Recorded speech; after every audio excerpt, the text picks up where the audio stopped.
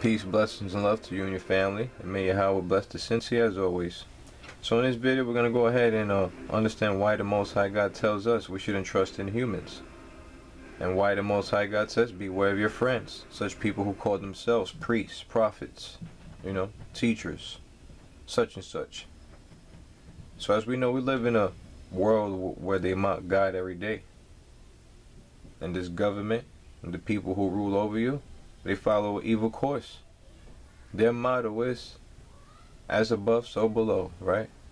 So we already know what happened above. The angels turned their back on the Most High. They transgressed His laws. So this is what these people try to do down here. You see what I'm saying? This is their motto. This is why the Most High God says, don't trust humans. So let's go ahead and start off with Jeremiah chapter 9 verse 4. Says, Beware of your friends. Do not trust anyone in your clan, for every one of them is a deceiver, and every friend a slanderer. Verse 5.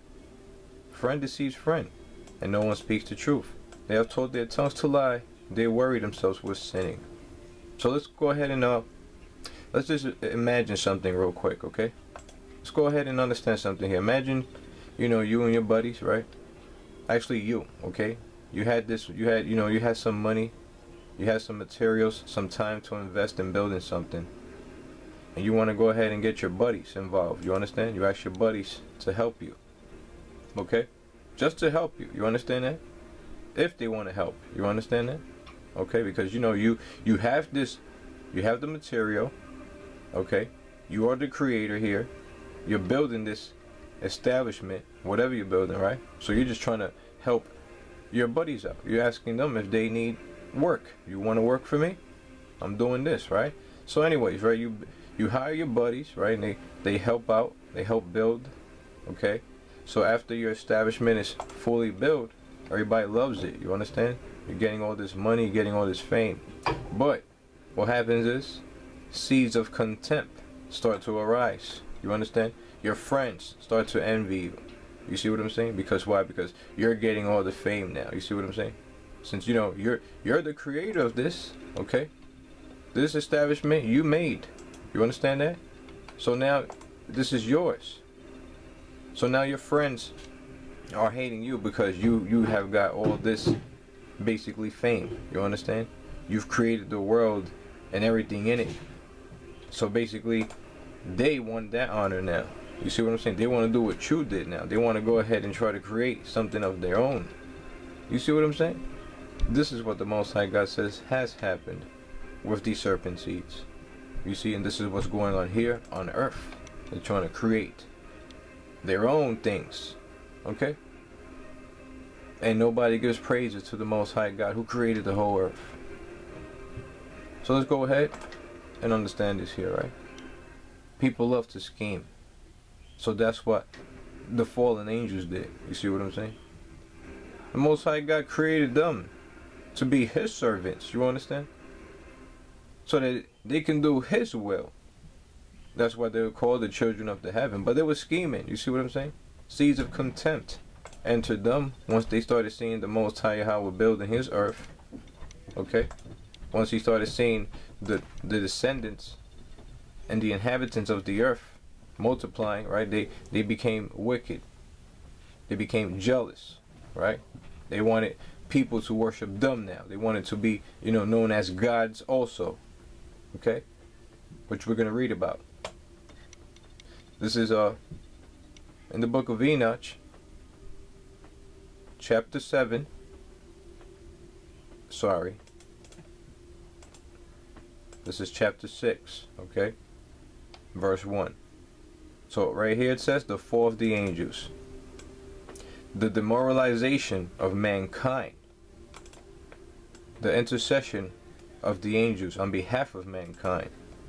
The dooms pronounced by God on the angels. So let's read this here.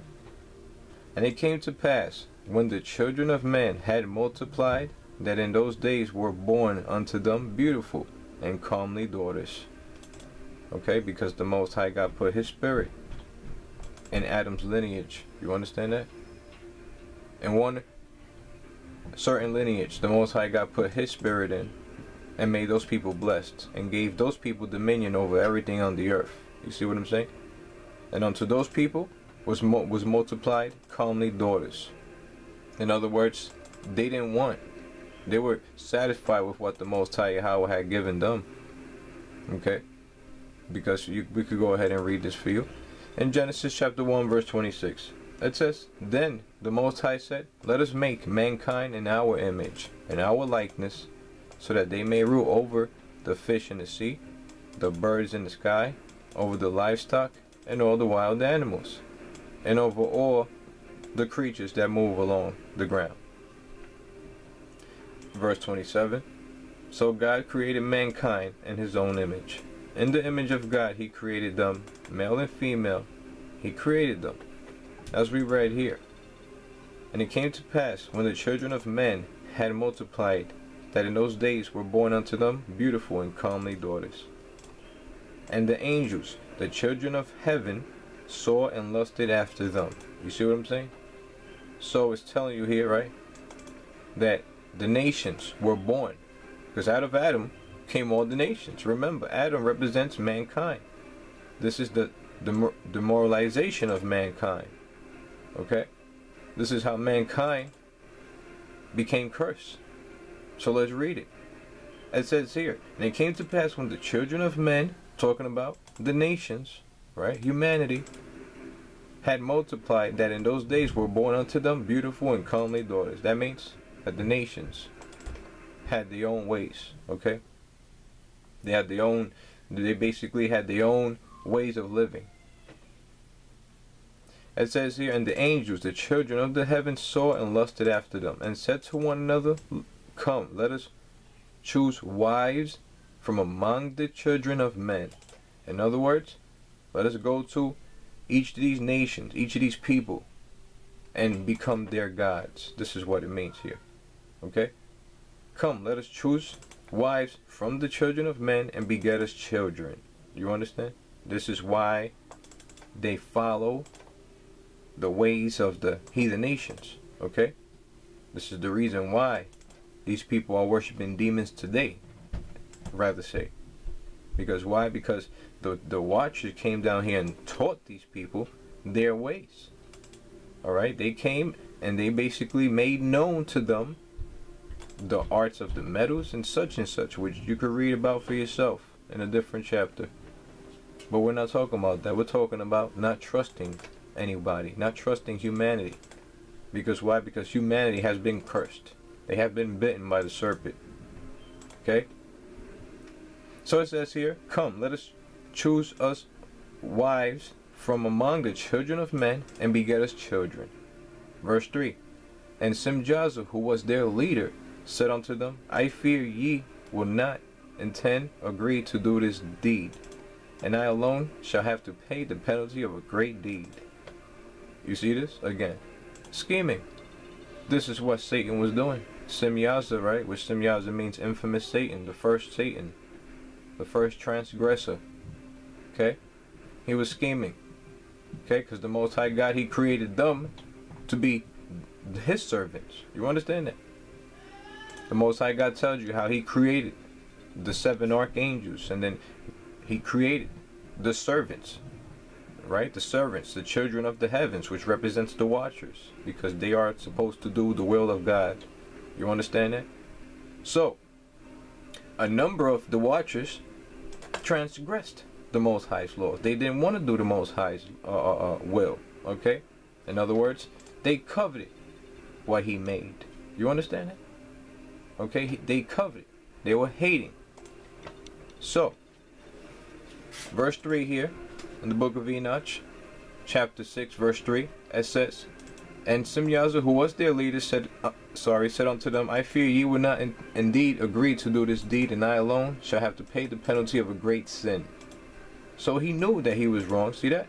There's the difference here when you don't know that you're doing wrong. He knew that he was going against the Most High's law. He knew that what he was doing was a, a great sin. Okay? But what he did, he wanted to bring other people down with him. Just like he's doing now in these days. Trying to bring you people down with him. Because he know he has but such a, a short time. Okay? you people out there, you know, you probably think that we are wrong because, you know, we don't believe in your Jesus Christ or, you know, whatever you people believe in. But again, you're the one who's wrong. You're the one who's going to fall down that trap if you don't get out of that. Remember, we're not trying to make you change. That's something that you have to do for the Most High. Okay? We would never try to make anybody change. You see, we change for the Most High. That's something we did for God. That's something you have to do for God.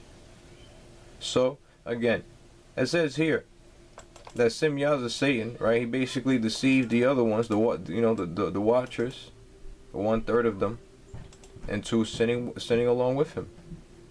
So look what it says here, verse four. And they all answered him and said, Let us all swear an oath. Okay? And all bind ourselves by mutual imprecations, not to abandon this plan, but to do this thing.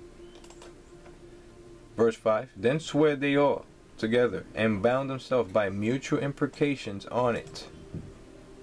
And they were in all 200 who descended in the days of Jared on the summit of Mount Hermon.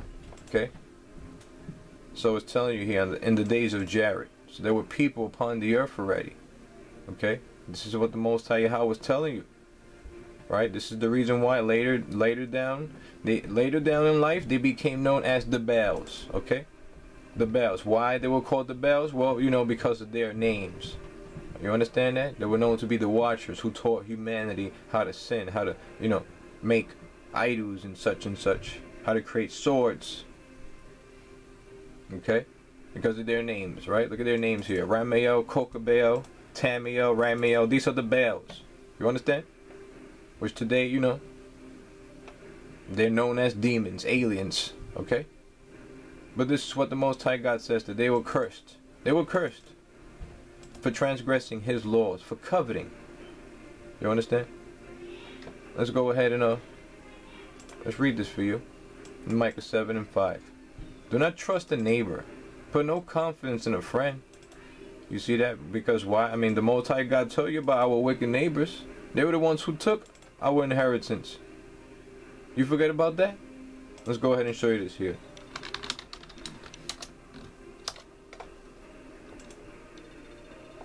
Jeremiah 12 and 14. This is what Yahweh says. As for all my wicked neighbors, who seized the inheritance I gave my people Yasharel, I will uproot them from their lands, and I will uproot the people from Yahweh from among them. Verse 15. But after I uproot them, I will again have compassion and will bring each of them back to their own inheritance and their own country. And if, keep point now, and if they learn well the ways of my people and swear by my name, saying, As surely as Yahweh is, even as they once taught my people to swear by Baal, then they will be established among my people. You understand it? So Micah 7 and 5 says, Do not trust a neighbor. Put no confidence in a friend. Even with the woman who lies in your embrace, guard, guard the words of your lips. What is it talking about? This is talking about your wisdom. You understand it? This is why you have to, you have to be faithful to the Most High. Remember, wisdom belongs to the Most High. Remember? So he's the one who gives it and he's the one who takes it away. And let's go ahead and read about wisdom. Proverbs chapter 31 verse 3. That says here, do not spend your strength on woman, your vigor on those who ruin kings, right? This is why the Most High God says that a false balance, sorry, a, a false balance is an abomination. You see what I'm saying? So let's go ahead and read this in Proverbs 8 and 12. It says, I, wisdom, dwell together with prudence. I possess knowledge and discretion. To fear Yahweh is to hate evil. I hate pride and arrogance. See that? And what happened with Saul? Well, he became proud and arrogant. You see what I'm saying? He didn't watch his woman. He spent too much strength on his woman. You see what I'm saying? He forgot the Most High Yahweh who gave it to him. So again, it says here, to fear Yahweh is to hate evil. I hate pride and arrogance, evil behavior and perverse speech. Verse 14 Counsel and sound judgment are mine. I have insight. I have power. Key point. Verse 15 says, By me kings reign and rulers issue decrees that are just. Okay? So this is why Proverbs 31 and 3 says, Do not spend your strength on women, your vigor on those who ruin kings. Like it says here in Jeremiah 9 23. This is what Yahweh says. Let not the wise boast of their wisdom. Right? That's you. That's you people out there putting your strength in women. Right? Because again, you can have all the wisdom in the world. Solomon had 7,000, sorry, 700 wives. Which represent he, he, you know, wisdom. He had a lot of wisdom. Right? This is why he asked the most high. So it says, don't go ahead and get proud and try to put your woman on a golden pedestal because she going to get knocked down. It says, let not the wise boast of their wisdom, or the strong boast of their strength, or the rich boast of their riches. But let the one who boast boast about this, that they have the understanding to know me. Like it says in Proverbs chapter 4, verse 7. Before I getting? Get the proper understanding. You can have wisdom, you can have knowledge, you can have money, you can have power, but do you have the understanding to know who's God? So this is the reason why. Back in Micah 7 and 5, it says, Do not trust a neighbor, put no confidence in a friend, even with the woman who lies in your embrace. Guard the words of your lips. You understand that? Because again, if you don't guard the words of your lips, well, your woman was gonna be she's gonna become haughty, right? That wisdom is gonna become haughty, arrogant, and it's gonna lead you to death, right? Because that's what the Most High God says about that haughty wisdom. Let's see if we can find that. Proverbs chapter 5, verse 5. Her feet go down to death. You see what I'm saying? So if you're not guarding your woman, right? Because that's what it says. You're supposed to guard your steps. Alright? That's that's you guarding your woman when you guard your steps. So it says here, if you don't guard your steps, your feet's gonna go down to death. That woman is gonna lead you down to death. Okay? Her feet go down to death, her steps lead straight to the grave. This is why you have to watch your woman. Okay, even with the woman who lies in your embrace, guard the words of your lips. So, let's go ahead and read Psalms chapter 118, verse 6. It says, Yahweh is with me. I will not be afraid. What can mere mortals do to me? Right? Because that's all they are mere mortals. You understand that? They believe in things that the Most High God taught the watchers. You understand? This is why they are mere mortals. Because the Most High God, He cursed those watchers. You understand? Those watchers wanted what God had created. God created wisdom. You understand? God created all things. Did He not? So this is what people do. These people, these mere mortals, you, you know, they, they, they get their wisdom from demons. They get their technology from demons. You understand? And they think that they're better than God, not knowing that God was the one who gave all things. You understand? So us who serve Yahweh, we don't serve men. We're not afraid of men. We don't care what men say. It will be well with us because Yahweh is with us, us who serve him. Like it says, Yahweh is with me. I will not be afraid. What can mere mortals do to me? Verse 7. Yahweh is with me. He is my helper. I look in triumph on my enemies, right? And who are our enemies? Everybody who hates Yahweh. All right, whether you're black, white, Chinese, whether you're male, female, whether you're gay, straight, it don't matter. If you hate Yahweh, we hate you. It says here, verse 8, it is better to take refuge in Yahweh than to trust in humans. Verse 9, it is better to take refuge in Yahweh than to trust in princes. You see what I'm saying? Psalms 14, sorry, Psalms 146, verse 3. Do not put your trust in princes and human beings who cannot save. You understand that? Again, and human beings who cannot save. Jeremiah 25 and 9. I will summon all the peoples of the north, and my servant, Nebuchadnezzar, king of Babylon, which who is uh, modern day Nebuchadnezzar, king of Babylon? Well, this guy right here, Rockefeller. Just won't die, right? Well, most like I told you. It says, And I will bring them against this land and its inhabitants, and against all the surrounding nations. I will completely destroy them, and make them an object of horror, and scorn, and an everlasting ruin. Right? As it is happening.